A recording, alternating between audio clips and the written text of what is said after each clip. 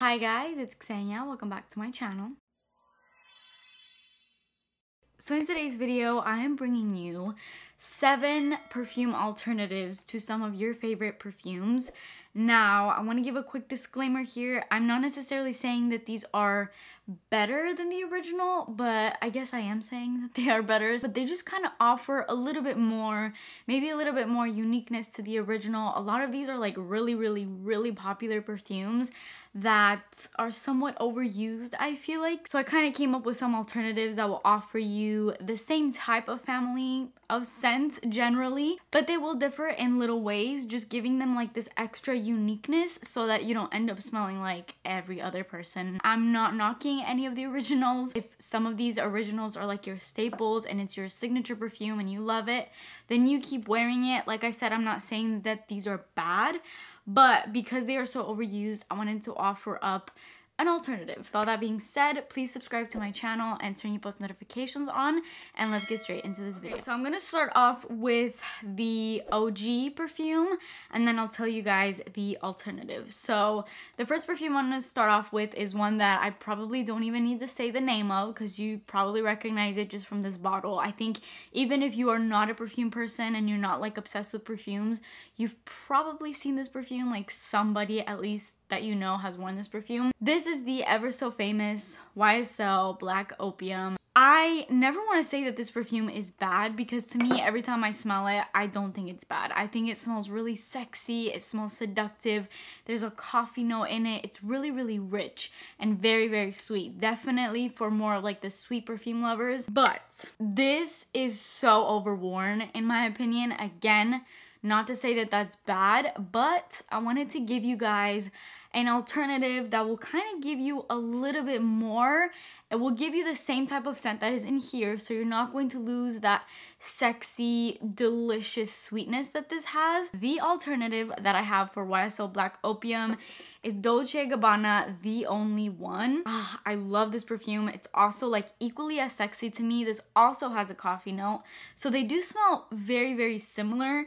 And by the way, another thing that I will say about all these perfumes, I'm calling these alternatives, I'm not calling them dupes. So the alternatives will be in the same type of scent family and may even smell a little similar to the original, but they are not dupes. So I just wanna like clarify that. This one smells very similar to Black Opium, but this has an added coconut note. So Black Opium has some florals, like there's jasmine, bitter almond, there's also licorice in here, and then mixed with like the vanilla that's in here, it has like this woody cashmere sort of feel. Whereas Dolce Gabbana, the only one, also has vanilla, also has the coffee, but this also has caramel. So that is the only kind of distinction between the two that I can make.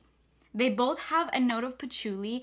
I actually read somewhere that patchouli is an aphrodisiac, which to me makes a lot of sense because I find that a lot of perfumes that have patchouli in them are some of like my most complimented perfumes. So I don't know if that's true. These are both very long lasting perfumes, but I think this one definitely wins as far as longevity. This one lasts a lot more. That's basically the only difference that you're gonna get in here. You're gonna get that coffee vanilla scent just with another added really rich caramel note which adds like this other level of sweetness that just makes this very very delicious i wouldn't say that either of these are gourmands they're just like very very rich sweet uh florally sweet vanilla type of perfumes. Definitely check out The Only One if you want a better alternative to Black Opium. So the next perfume that I have an alternative for is one that I'm almost kind of regretful that I bought it and I'll let you guys know why. So this is Chanel Chance Eau Tendre. I've heard so many things about this perfume before I got it, which made me really want to get it. People were raving about how complimented this perfume is and it's just such a crowd pleaser and it smells very fresh and clean like a clean girl and I definitely agree with that I do like it it's very fresh kind of floral but in like a very aquatic type of floral way, like just fresh, very, very fresh. And the reason why I guess I'm kind of regretful is because I noticed after I bought it that I had a lot of perfumes in my collection that smelled very similar to this type of scent. And this is not a super uh, inexpensive scent. It's like a hundred i think it was like maybe a little over a hundred. But i do have an alternative to this and i think it's almost even a better alternative and one that lasts. I wore it the other day. I went out for a walk and this is the perfume that i wore. I was walking for like two hours straight in like the heat. I live in florida. It's like a hundred degrees outside. It's summer like it's, it's hot. It's very very very very hot here and humid so you're like sweating and when I tell you, this would not leave my side. This perfume stuck to me through all of that. Like it was just so powerful and it smells so good. And I find that so um strange the fact that it's so long lasting for a scent that is really really fresh because a lot of fresh scents even the more expensive ones they just don't last because they're fresh. Like there's nothing really holding them together. And with Chanel Eau Tendre, I don't get much longevity in here at all. I get like I don't even want to say an hour. Like maybe that's like the maximum I would get if I really really went to town spraying this. But this is not long lasting at all and I just I'm very regretful honestly that I bought this. I may put this up on my Mercari. So keep a lookout for that. It might end up getting going on there at some point. Not because I hate it, but for the price it's just not worth it. I have better alternatives like the one I'm going to show you. So the perfume that I am raving about here is Bulgari Omnia Coral. This perfume, I knew that this was going to be a good one because I got a compliment on this perfume literally the first time I ever wore it. The first day, actually like an hour after I bought it. I'm pretty sure I've told this story before, but that's just like what made me like solidify the fact that I really love this perfume because right after I had purchased it, I went through like a McDonald's drive-through, which I, don't do McDonald's. I hate McDonald's. It's it makes me feel so disgusting. But this was a while ago and I'm on my health journey now. But I stopped by because it was like the closest thing to me and I was kind of far away from home and I was starting to get kind of like shaky. So I just like stopped by for like something quick like fries or whatever and I put down the window. And the girl that was handing me my food, she was like, You smell so good. And she was like very adamant about it. Like, she was like, You smell amazing. Like, what perfume do you have on? So that's just what made me feel like, okay, this is a nice perfume. Like, clearly people like this. It is such a pretty, fresh scent, has like this touch of sweetness to it. And in comparison to Chanel Chance Eau I feel like this one is just a tad more like fresh aquatic almost has a bit of like this really really clean soapy scent to it whereas Bulgari Omnia Coral gives you that same type of fresh fruity floral scent. It's not as aquatic as this one is and it's definitely not as soapy. I wouldn't even call this a soapy scent. I mean, it's very clean, like fresh out the shower. And as far as notes, this one has like quince and grapefruit as far as like the fruits that are in here. And this has pomegranate. So that's kind of where you get a little bit more of that like richness, a bit more sweetness, a bit of like this tangy sort sort of feel. It has goji berries and bergamot, so it's very fresh. And then it has like this woody musky base, which this one also has, but the musk in here is kind of leaning more of like a soapy musk. I definitely would say go for this one one of the most complimented scents ever. Like, whether you care about that or not, I'm just stating a fact here. It is literally like out of all my perfumes, a scent that by far gets me a compliment pretty much every single time I step out of the house. So definitely check out Bulgari Omnia as a better alternative to Chanel Chance Eau Tendre. I'm gonna keep the next one kind of brief because I've talked about it a lot. I just had to include it in this video because it's basically the theme of this video. So I'm sure you guys are probably going to know what alternative if you watch my channel that I'm about to show. This is Dolce Gabbana Light Blue. I have the Eau Intense here. I feel like in my opinion they all smell the same. It's just like a little bit more intensified. I actually really enjoy the scent of light blue. I know that light blue is a bit more of a, like a polarizing scent because a lot of people just don't love the fact that it's not very feminine. It almost kind of leans a little masculine because of how crisp and fresh it is. It lacks pretty much like any hint of sweetness. It's very, very citrusy. It's got lemon in it. This one has uh, green apple. It's musky. It has some jasmine. It's a bit woody. It's just like nothing in here screams feminine, but it doesn't really scream masculine either. It's just like a very, very fresh scent, so anybody can really wear this scent. But if you are somebody that you don't love, like you just want to smell really girly, then you're probably not going to like this. So I have a better alternative for those of you that maybe you kind of like the scent, but you wish that it was a little bit sweeter. You wish that it gave you a little bit more of like a feminine feel. And that perfume is one that I've been talking about a lot. Ironically, it's called Women. This is Calvin Klein Women. Do not sleep on Calvin Klein perfumes. I feel like Calvin Klein perfumes are so underrated, but I have discovered so many gems in the Calvin Klein house and this is one of them. This is one that will never leave my perfume collection. I adore this scent. So I've mentioned this before and I'm going to mention it again. It's basically like what I call the more feminine version of Dolce Gabbana Light Blue and that is because this one kind of gives you a bit more feminine notes in it. It has a touch, I don't want to say that it's sweet, but it has a touch of sweetness, definitely more than light blue. Light blue doesn't even have any, so I don't know why I'm saying more than light blue, but it just has sweetness. And that is because this one gives you a bit of like this raspberry note. So this one has that same like very citrusy vibe to it. Like you get grapefruit, bergamot, lemon, tons of citrus in here but you get a lot of more florals in here very pretty modern florals. You get that touch of the raspberry and then you get a very woody base just like light blue but in here you also get like cashmere in, in the base. You get this really clean white musk you get violet. It just gives this like a bit more of a feminine feel and I find this very very sexy. So that's basically my take on Calvin Klein women and I definitely enjoy it a lot more than light blue. I think this is a lot easier to wear if you want a scent that is just a bit more feminine than light blue but you still want that freshness, the crisp, the woodiness that this one offers. It's just better in my opinion. Like if you are trying to decide or maybe if you're looking into getting this fragrance, maybe try looking in this direction. A lot of you guys that have told me that you bought this um, because of my recommendation. You have all told me that it's been a hit, you all love it, and it is also a very complimented scent that smells very unique. So that is Calvin Klein Women. Definitely check it out as an alternative to light blue. The next one, again, I'm going to kind of briefly talk about this. This is an alternative for a celebrity perfume, and it's actually the same perfume, but you'll see what I mean. So I've talked about this before, but I wanted to include it in this alternatives video because I, I feel like it's a better alternative.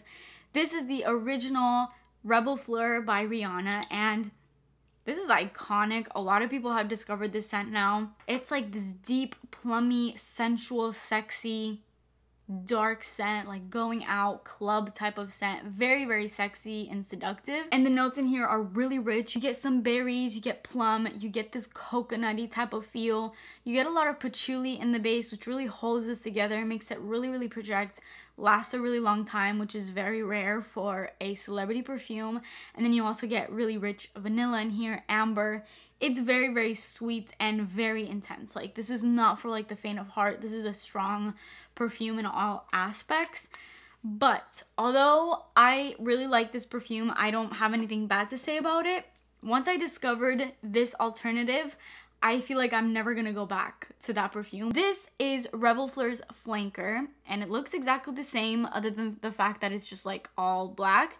So this is Rebel Fleur Love Always. This is a flanker for Leber, Leber. This is a whole tongue twister. This is a flanker for Rebel Fleur. Now, let me start off by saying these two have the exact same scent notes. Like literally not a single difference between the two notes at all, which is kind of weird to see for a flanker. I mean, when people do flankers, it's like, yeah, it's the same type of DNA, but they'll add a note, they'll take out a note, whatever. Like they'll they'll do some difference to it. And I don't know what they did in here. I think that they kind of messed with like the amounts of the notes that were in here like maybe they added more of something and less of something else and that's what i feel like happened so, as I said, same scent notes, both get like that plum, berry rich, vanilla, coconutty, creamy type of scent, but this one is better because the patchouli in here is not as strong. So I think that they kind of minimized the patchouli aspect and they added on the coconut feel. Not because this smells coconutty or anything like that. Like I don't even smell coconut in here. But the coconut kind of gives this creaminess to all of the notes and it kind of has so much more of like this smoother type of scent to it than this one does. This one I feel like can be a little bit more polarizing, whereas this one is just a bit more refined.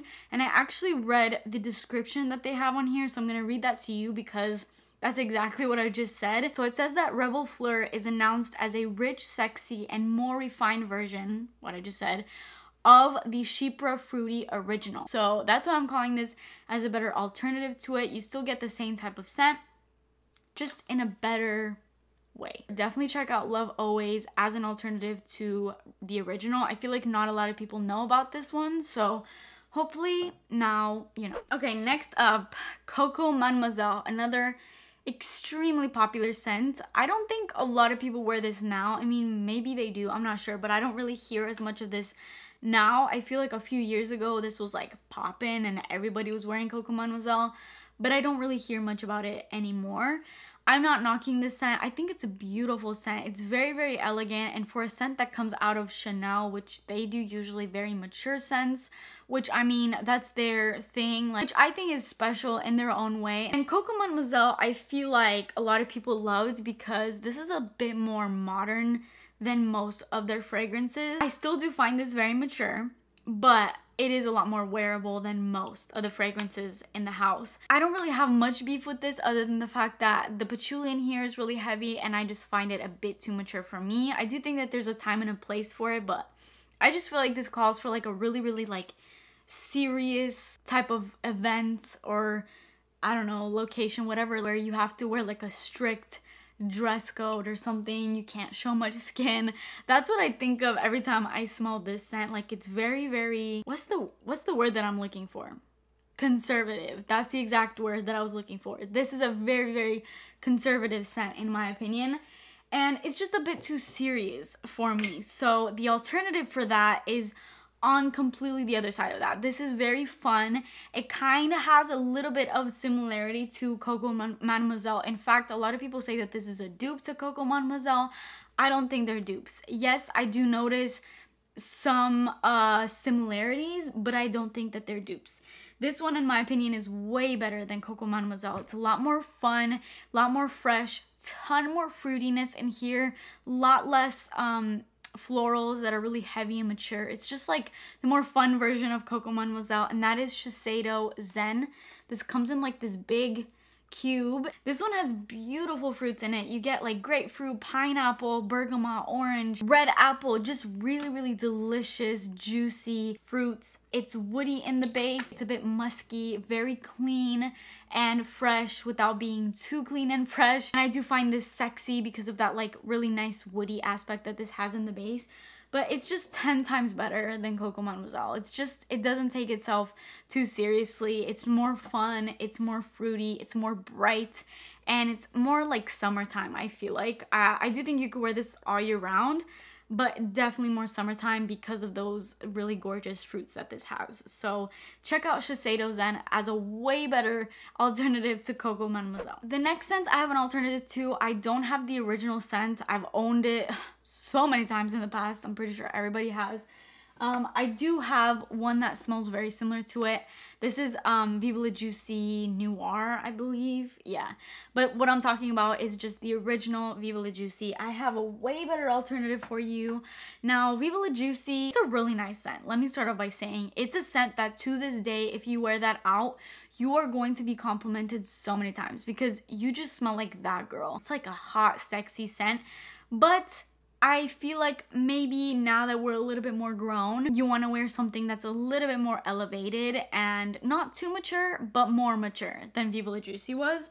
Like if Viva La Juicy was like, you know, in her prime teen years, this fragrance I'm going to talk about is like prime 20s. And that is Gucci Flora Gorgeous Gardenia. When I first saw that this came out, I had absolutely zero intention of even smelling it because I do not like gardenia scents but this completely shocked me because this does not smell even one bit like gardenia. It doesn't even smell floral to me. This is very, very sweet and it has the same type of DNA that is in Viva La Juicy, which is so odd especially coming out of Gucci. Like their scents are very floral usually. This is not. I find this really fun and very bright. Has a lot of white florals in it but in a really fun way. I don't know, I can't describe it. It's a bit citrusy. It has brown sugar in it, so it definitely has a lot of sweetness. I think it is definitely a gorgeous scent. I smell absolutely zero hints of gardenia in here, which I'm glad. It's just a really beautiful feminine scent that is basically like Viva La Juicy, but she's all grown up now and that's basically what Gucci Flora Gorgeous Gardenia is. So check this out as an alternative to Viva La Juice. And then the last scent I have to recommend is for Mon Guerlain by Guerlain. Again, if you are an OG subscriber of mine, you probably know what I'm gonna say for the alternative, but Mon Guerlain is like this it's a really strange, like very unique perfume. There's a lot of lavender in it, which I think is kind of the signature of the perfume. There's this like heavy patchouli aspect in the base, a bit of like sandalwood. I do find it sexy in its like own weird way, but it's definitely a strange scent that could be polarizing because it's more like on the unique side. But I have discovered a way, way, way, way, way better alternative to Mon I actually don't own Mon I've smelled it, didn't really love it, so I didn't buy it. But this is so much better in my opinion. And I've put so many of you guys onto this perfume. It has a lot of similarities to Mon Guerlain. I don't know how to explain it. This one doesn't have lavender in it, so it doesn't have that like sharpness. A lot of people I feel like don't do super well with lavender. Lavender can come across as a bit of like a masculine note sometimes and this one doesn't have that. This one does have sage and it has vetiver in it which would make you think that this is a bit more like on the earthy side. And I honestly don't think so. Like I find this more of a vanilla scent more than anything. It's literally called Seductive Noir and that's exactly what it smells like. It's like a dark seductive scent. Definitely like a clubbing scent, going on a first date type of thing. That's kind of what I envision with this scent. The vanilla is so prominent in here and it's probably like the main thing that I smell. And then the vanilla is kind of mixed in with it, eh, the velvet note, the vetiver, the sage, the bergamot. It's a beautiful, more feminine version and more like smooth, refined version, kind of in the same way that Love Always is to Rebel Fleur. Like this is just way more smooth and refined, not as like sharp. That's exactly how I would describe Guess Seductive Noir in comparison to Mon Guerlain. And by the way, this is like $14. I found it for $14 at, I think, TJ Maxx. You can find it online. You can find it at Ross, Marshalls, TJ Maxx. It's been popping up everywhere, uh, Burlington as well. So check it out in those stores. Otherwise, just order it online. But it's cheap everywhere you get it. And Mon Guerlain is like $60, $70. So definitely go for this one. It smells so rich and high end. So that's Guess Seductive Noir better alternative to Mon Guerlain by Guerlain. Right, so that is it for this video. I hope you guys enjoyed these alternatives. Please let me know if you guys have found better alternatives to some really popular perfumes or just any perfumes in general. I always like to find perfumes that are just a little bit more unique than something that is really popular and overused. So let me know if you have any of your alternatives, leave them down below. But that is it for me today. I hope you guys enjoyed this video. Please subscribe to my channel if you haven't already and turn your post notifications on and I will see you guys in my next video. Bye!